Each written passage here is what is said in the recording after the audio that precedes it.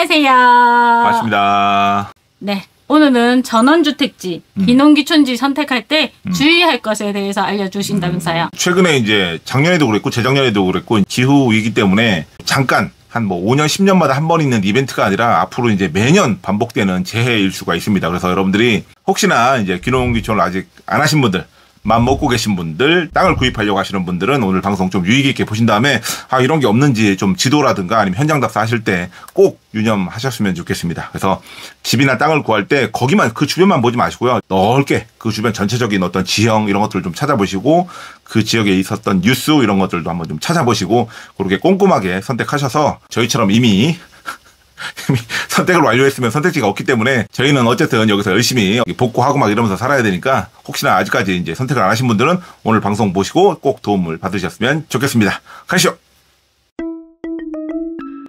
자, 전원주택지, 귀촌지 선택 시 피해야 할 곳. 첫 번째, 계곡이나 하천과 가까운 전원주택이나 시골집. 최근까지도 많이 선호되는 곳이에요. 어디? 집이 탁 있고 옆에 계곡이 쫙 흘러. 아이고 멋지지. 그죠? 여름 되면 옆에 서 계곡 쫙 있고 막 거기 위에 평상 놓고 막 백숙도 먹고 이러면 와 굉장히 좋죠. 그리고 실제로 이런 집들이 다른 집들에 비해서 심하면 두 배, 세 배 이상 비싸게 거래됩니다. 땅 같은 경우도 마찬가지예요. 예를 들어서 시골에 진짜 막 가도 못하는 데인데 옆에 계곡이 하나 딱 있다 그러면 이런 데가 진짜 막 10만 원, 20만 원씩 팔려요. 산속인데도. 근데 다른 데 가보면 막 만 원, 2만 원, 3만 원 이런 땅들이. 근데 여기는 뭐 10배씩 거래가 돼요. 왜? 이 계곡이 일단 하나만으로. 근데 최근에 이런 이렇게 계곡을 끼고 있는 집들이 여기 사진에서 마찬가지겠지만 굉장히 위험 요소로 떠오르고 있습니다. 작년에도 하천하고 되게 가까웠던 진짜 하천 바로 앞에 집이 있더라고요. 어떻게 거기는 그 범람에서 집이 침수가 되는 그런 사건들도 꽤 있었거든요. 그래서 앞으로는 이렇게 계곡에 너무 가까운 것들이 이게 과연 장점인가? 아, 잘 한번 고민을 해보셔야 됩니다. 특히나 이게 비가 왔을 때 유량이 늘어나면 장난 아니거든요. 아, 저희가 이제 예전에 펜션 같은 거 하시는 지인분께서도 계곡 옆에다 하시는데 이 쓸려 내려가면서 이제 펜션 뒤편까지 조금 위협을 받는 그 정도까지 조금 피해를 입으신 분들이 계시거든요. 그래서 그런 피해들이 앞으로 한 2년, 3년 반복된다? 그러면 굉장히 위험해질 수 있습니다. 그래서 계곡이나 하천 이렇게 가까운 집들 선택하실 때 꼭 한번 유념하셨으면 좋겠습니다. 그리고 나는 굳이 계곡이 너무 좋아서 이런 데 해야 되겠다라고 하시면 이런 데 하천변에 어떤 제방이라든가 이런 뚝방 이런 것들을 좀 쌓아서 비가 많이 왔을 때 이 물이 들이치는 것들을 좀 사전에 생각을 하시고 좀 구매를 하셨으면 좋겠습니다. 두 번째. 하천을 건너가는 다리가 마을의 유일한 진출 입로인 경우. 그러니까 마을이 이렇게 쫙 있어요. 근데 여기 하천이 이렇게 쫙 흐른단 말이에요. 큰 하천이 흐르는데 여기에 이제 다리가 이렇게 딱 놓아져 있을 거 아니에요. 그죠? 여기 길이 있고. 근데 다른 데로 나갈 곳이 없는 거예요. 여기로만 다녀야 돼요. 여기로 나가야지만 시내로 가고 어디로 가고 읍내로 가고 외지로 가고 갈 수 있는 동네들이 있어요. 가끔. 보면 여기 이게 다리가 잠기거나 끊어져 버리면 여기 고립돼 버려요.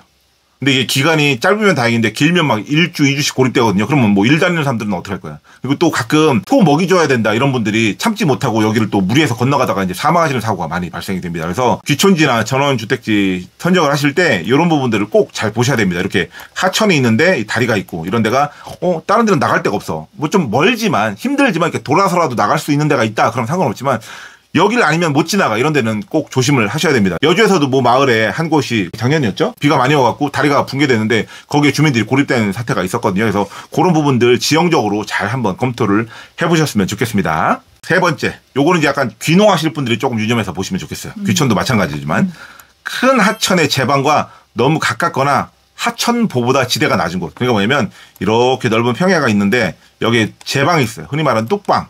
그리고 여기 이제 하천이 흐른단 말이에요. 보통 이 제방을 쌓은 이유가 뭐예요? 요 물하고 분리시키는 건데 이게 이제 물이 불어나게 되면 여기가 더 낮아요. 근데 여기에 보통 뭐가 있어요? 비닐하우스나 밭이나 이런 것들이 많이 있단 말이에요. 그러다 보면 어떻게 이게 넘치면 물이 안 빠져요. 다른 데는 넘쳐도 하루 이틀이면 물이 빠지고 이러는데 여기는 어때요? 이 제방보다 여기가 더 낮으니까 물이 막 거의 한 2주씩, 3주씩 갇혀 있어요. 그러면 여기 농작물들 어떻게 될까요? 다 작살나는 거예요. 실제로 이제 여주에서도 지인분께서 이제 하우스 하시다가 피해를 보신 분이 계시거든요. 근데 그분도 제방 옆이었어요. 그리고 지대가 낮았고. 그래서 혹시나 여러분들이 귀농지를 선택하실 때, 귀촌지를 선택하실 때 하천이 가까우면 솔직히 좋긴 좋아요. 여기 제방 있으면 뭐 자전거 길도 있고 삶의 어떤 이런 것들이 올라가는데 보면 이 제방 대비, 이 하천 대비해서 이 지대가 유난히 좀 낮은 데가 있어요. 높은 데는 그나마 좀 나아요. 여기가 좀 많이 높다 그러면 괜찮은데 이 제방을 사이에 두고 이 하천이랑 여기랑 거의 높이가 1대1인 경우가 있어요. 1대1. 보통 내가 있는 곳이 하천보다 높아야 돼요. 제방이 옆에 중간에 있어도. 근데 보통 하천하고 내 땅하고 이렇게 1대1인 경우가 있어요. 근데 여기가 물이 불어나면 어떻게 돼요? 이렇게 넘치는 거예요, 일로. 아니면 스며서 올라와서 농작물에 피해를 주거나 물이 불어난 상태로 계속 있으면 물이 이렇게 땅을 통해서도 넘어와요. 그러면 뿌리가 썩기 시작해요. 곰팡이가 발생돼요. 그죠? 그러면 또 농사를 망치게 됩니다. 그래서 요 제방 쪽에 지대가 낮은 곳 꼭 유념하셔야 됩니다. 보통 이런 데가 이제 또 땅값이 조금 싸다고 덜컥덜컥 집으시는 분들이 있는데 조심하셔야 됩니다. 물론 뭐 바닥에 콘크리트를 해갖고 뭐 시설 재배하시는 분들이 있어요. 딸기 같은 거. 그런 분들은 상관없겠죠. 그래서 그런 용도로 쓰실 거면 또 상관없다. 어쨌든 이렇게 될 수 있다는 걸 알고 선택하는 것과 모르고 당하는 건 또 다릅니다. 그래서 이런 자연재해를 한 2, 3년마다 한 번씩 당한다고 생각해 보세요. 농사 못 지어요. 어, 얼마나 짠나겠어요. 농사. 그죠? 그래서 이런 부분들을 꼭 유념하시기 바랍니다. 네 번째. 이전에 대규모 침수 이력이 있던 것. 지금 이게 저희가 뉴스 헤드라인을 뽑아온 건데 보세요. 침수 피해 반복, 침수 피해 반복, 반복 침수, 침수 피해 반복, 침수 반복, 침수 피해 반복. 이게 뭘까요? 침수 피해를 한번 입었던 곳이 그 다음에도 발생될 가능성이 굉장히 높습니다. 그래서 여러분들이 좀 이렇게 막 대규모로 침수됐던 곳들 있죠. 이런 데들 잘 유념해 두셨다가 그런 지역들을 좀 피하시는 게 좋아요. 근데 이제 여러분들이 예를 들어서 나는 이 지역으로 갈 거야. 근데 여기에 뉴스를 검색해 보니까 침수 피해가 있어. 그럼 이 지역을 전체를 가지 말아야 될까요? 그건 아니에요. 이 지역 내에서도 예를 들어서 하천이 흐르는 곳 주변이라든가 아니면 너무 지대가 낮은 곳 이런 곳이 침수가 되거든요. 그러면 지대가 조금 높은 곳이나 침수가 안 됐던 곳들 있죠. 이런 곳을 고르시면 돼요. 이 지역 전체를 뭐, 아, 가면 안 된다. 그러실 필요는 없습니다.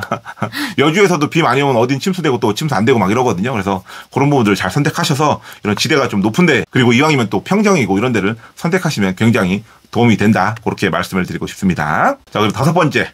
산을 깎아 만든 전원주택 맨 위나 옹벽이 높은 주택지. 요거 사건은 요번 겁니다. 그죠? 전원주택이 있는데 요 옹벽이 있는 요거, 요거, 요거 토사가 밀려 내려가서 무너져서 요 물길내로 내려가셨다가 무너지는 바람에 매몰돼서 지금 실종됐다고 찾고 계신 것 같은데 이렇게 그 전원주택 단지를 이렇게 크게 만들다 보면 앞에서부터 이렇게 막 전원주택을 지을 수 있는 데가 이렇게 설계가 되는데 이 맨 뒤쪽 이런 데는 막 산 절벽이 있는 경우가 많아요. 이렇게 이런 데는 조심하셔야 돼요. 그래서 전원주택을 고르실 때 이렇게 맨 뒤에가 이런 식으로 돼 있다. 뭐 바위라서 튼튼해요. 아예 안 돼요. 아, 이런 데는 갇히면 안 됩니다. 또 반대로 맨 앞쪽이 좋긴 좋아요. 전망이 트이고 근데 이렇게 옹벽이 높게 쌓여져 적 있죠. 어떤 데가 보면 옹벽이 막 10m 막 15m 쌓인 데가 있어요. 그런 데도 위험합니다. 네, 옹벽이 좀 어느 정도까지는 괜찮아요. 상관없어요. 또 튼튼하게 싸면 안전하니까 대부분이. 근데 이제 너무 높은 데 있죠. 이렇게. 말도 안 되게 막 10m 이상씩 쌓여 있는데 이런 데는 조심하셔야 됩니다. 그래서 전원주택지를 선택하실 때 너무 응벽이 높은 맨 앞이나 그리고 산에 이렇게 막 절벽처럼 형성되어 있는 맨 뒤나 이런 부분들은 조금 피하시는 게 어떨까. 그래서 그 중간, 그 사이사이 이런 데 선택해 보시면 또 좋을 것 같습니다. 좀 이렇게 하나를 얻으면 하나를 좀 잃는 게 있는 것 같아요. 그래서 전원주택지를 선택하실 때 맨 앞이 좋다 그러면 좀 이렇게 경사가 좀 완만해서 그렇게 높은 곳에 있지 않은 그런 전원주택지를 선택하시는 게 여러분들한테 도움이 될 것 같습니다. 여섯 번째, 저수지 등 대형 담수지 아래지요. 요번에 이것도 생긴 거거든요. 뭐냐면 저수지가 위에 이렇게 크게 있어요. 근데 이제 제방이 이렇게 형성된단 말이죠. 여기서 이제 물길이 이렇게 내려가는 길이 있고 보통 이런 데 주변으로 마을이 있어요. 이런 데가 이제 위험하다는 거죠. 왜? 이런 데가 툭 터지면 여기다 수몰돼 버려요. 순식간에. 특히나 저수지가 이렇게 있고 물길이 이렇게 돼 있다 그러면 이런 데가 위험해요. 이게 물이 도는 데 있죠. 도는 데. 이런 데. 왜? 물이 일로 튀어나가려고 하거든요. 이쪽은 오히려 이런 데는 오히려 또 안전해요. 물이 이렇게 흐르니까. 그런데 물이 여기 터져서 한꺼번에 쏟아지면 이런 데를 뚫어버린다고. 이렇게 완만하게 돌아나가지 않고. 이런 데가 굉장히 위험합니다. 그래서 요번에 또 70대 남성분이 실종되셨다고 하시니까 이 저수지 아래에 있는 부분들 위에 담수가 너무 크고 이런 데도 조심하셔야 되지만 작은 데도 위험합니다. 그래서 가급적이면 이런 지역들을 조금 피해 보시는 게 어떨까 그렇게 설명을 드리겠습니다. 그리고 제가 사진 하나 보여드릴게요. 자, 여기도 보면 여기 사건 났던 저수지거든요. 근데 보세요. 그렇게 큰 저수지가 아니죠? 산속에 조만한 저수지예요. 근데 이제 이쪽이 터지는 바람에 이쪽 밑에서 피해를 입은 겁니다. 그래서 이런 저수지 바로 밑에 땅들은 조금 조심을 하셔라. 하셨죠? 자, 그리고 마지막 일곱 번째. 그러면 시골 뭐 이런 전원주택, 뭐 귀촌지 이런 데만 위험하냐? 아닙니다. 도시 지역은 지하나 반지하 거주는 이제 위험합니다. 오피스텔 지하에 거주하시던 분이 엘리베이터를 탔다가 엘리베이터가 지하로 내려가는 바람에 거기에 갇혀갖고 사망사고가 발생이 된 것 같은데, 물론 누가 지하에 살고 싶겠어요. 그쪽이 좀 싸니까 이제 젊은 친구들이 또 많이 거주를 하는 것 같은데, 어쨌든 한 5만원, 10만원 차이라면 차라리 옥탑을 가거나 차라리 1층이라도 사시는 게 어떨까 싶습니다. 작년에도 많이 갇혀갖고 피해가 사상자가 많았잖아요. 그래서 지하는 이제는 웬만하면 거주하시면 안 됩니다. 도시 지역에서도. 제가 보기에 이제 앞으로 이런 기후이기 때문에 비가 굉장히 많이 올 것 같아요. 그리고 또 한 번 오면 이게 서서히 내리는 게 아니라 한 시간에 막 140mm씩 쏟아붓잖아요. 그러면 이게 피할 겨를도 없거든요, 여러분들. 비 오는데 뭐 피하면 되지 안 돼요. 뭐 자고 있는데 갑자기 막 문 높이까지 차면 못 나가는 거예요. 그러다 죽는 거예요, 그냥. 그런 경우가 많으니까 여러분들 꼭 유념하시고 여러분들이 전원주택지를 선택하실 때 물론 뭐 이런 것들이 정말 100에 하나 만에 하나 천에 하나겠지만 그래도 이왕이면 여러분들이 좀 안전하고 오래오래 노후를 좀 여생을 편안하게 보내시려면 이런 것들을 좀 체크해 보시는 게 좋습니다. 그리고 아까 말씀드린 것처럼 지역을 선택하실 때 그 지역의 재난이라든가 침수 피해를 조회하시되 그 지역 전체를 피할 필요는 없어요. 일부만 피해가 나는 겁니다. 그 지역이 100이라고 하면 피해를 입는 곳은 1, 2 정도밖에 안 돼요. 그럼 나머지 98 이쪽은 안전한 거니까 지역 내에서도 위치를 잘 고르시면 된다. 그런 말씀입니다. 왜냐하면 침수 지역으로 지역을 피해버리면 우리나라 전국이 다 피해야 돼요. 우리나라 전국에 침수 피해가 안 나는 곳이 없어요. 지역으로 따지면. 하지만 그 안에서 세부적으로 하천이 있거나 계곡이 있거나 아니면 너무 하류거나 지대가 낮거나 이런 데가 피해를 입는 거니까 그런 데만 조금 조심하셔서 피해를 좀 예방하셨으면 좋겠다. 네, 지금까지 달람이 이렇게 조심해야 될 것들을 잘 이야기했는데요. 이렇게 조심해야 될 것들 우리 달신님들은 꼭 유념해 두셨다가 꼭 지키셔서 피해를 보시는 일이 없으셨으면 좋겠습니다. 그리고 지금 장마철이어서 혹시나 여름 휴가랑 맞물려서 캠핑을 가거나 계곡을 여행하시는 분들이 계시다면 장마철은 진짜 제발 조심하시기를 당부드리겠습니다. 오늘 영상은 여기까지고요. 앞으로도 유익한 영상들 많이 많이 남겨드릴 테니까요. 달개딱TV 구독과 좋아요, 알림 설정 꼭 부탁 드립니다. 감사합니다. 감사합니다.